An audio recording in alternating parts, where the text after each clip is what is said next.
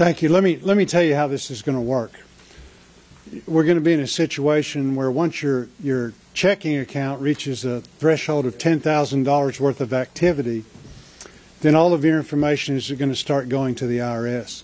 To put that in perspective, the average family's checking account activity is about sixty-one thousand dollars. So that's virtually everybody. So it's going to go to the IRS. They're going to hire eighty-seven thousand new agents part of those agents are going to be looking at that information, uh, again, at a cost of $80 billion. At that point, if they see something that they don't like, they're going to start sending you a threatening letter. This is happening now if you run afoul of the IRS. The problem is you get on the phone, you try and call them, they'll answer about 40% of the time. If you are fortunate enough where they answer the phone, it's not uncommon at all to be put on hold for an extended period of time. They actually have a thing after about 45 minutes. They have what they call a courtesy disconnect, where they hang up on you because they're trying to preserve your time. I was visiting with the accountants uh, a couple weeks ago. One of them, literally important case, trying to get through. They, the, the IRS won't see you in person. All of this is done by phone. Important case was on the phone for four hours. They tried to hang up on her, and she literally broke into tears. So these are very real things. The last thing that we need to be doing is giving the IRS 87,000 new agents, $80 billion. Uh, there's lots of things that we could be doing for the IRS to help them with their customer service to make them more effective. Uh, there's a tremendous amount of uh, stuff going on now that, that with the current resources that they have, that they could be much more effective in collecting. But again, this is certainly not the route to go. It wasn't too long ago that uh, the IRS was was uh, targeting conservatives.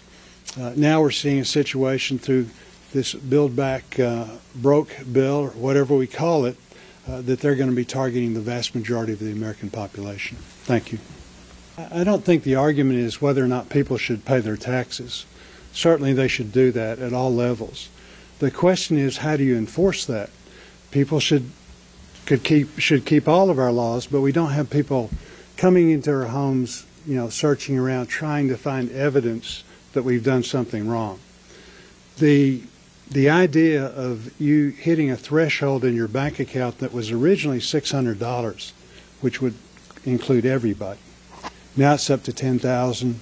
Average family 61,000. The idea of your financial tra- transactions at that point going to the IRS is wrong. You know, that's that's your business unless they have evidence that you've done something wrong. The other problem is once you centralize that information, the IRS, the rest of our agencies are notorious for actually making it such that that information is not breachable. So instead of it being disseminated all over the country at various banks, all of a sudden it goes to one centralized location, and that's a recipe for the Chinese, the Russians, whoever, uh, for some industrious hacker to get that information. So there's all kinds of things that are wrong about this.